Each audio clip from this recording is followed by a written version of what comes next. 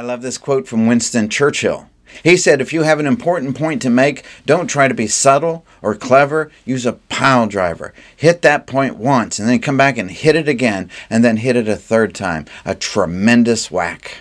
I love that quote. And I think it's so true because many times I've seen us, myself included, hit a point and it's a really good point, but we kind of hit it and move on. And what happens to our audience? Maybe they got it and maybe they didn't. And I think many times what we need to do, if we have if we have points that are crucial to our presentation, once just isn't enough.